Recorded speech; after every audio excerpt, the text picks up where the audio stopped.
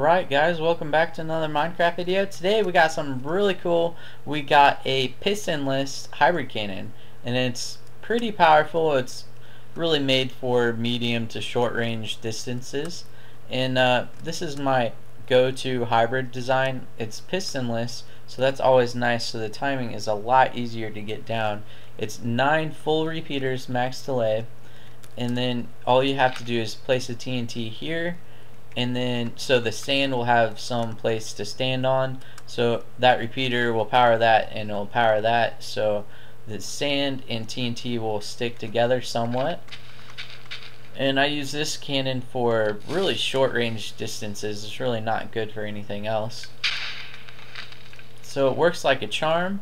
So basically what I did with this design is just added more TNT and then I added a barrel and what the barrel does is it makes the TNT stick together in a tighter kind of ball. So I added two two sand on this one and then all you have to do is kind of like follow that outline. So the barrel does help. I tested it like half the length of this barrel. It doesn't work as effectively.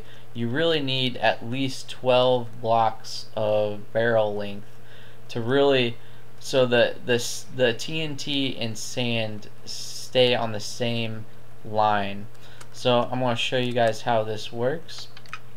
Basically these TNT get activated slightly before these so they they compress the TNT in front of the cannon and it works like a charm. So the reason why I did that is you can get a lot more distance by um, so these three TNT get activated before the major barrel TNTs get activated. So it's one repeater. So I'll just show you again.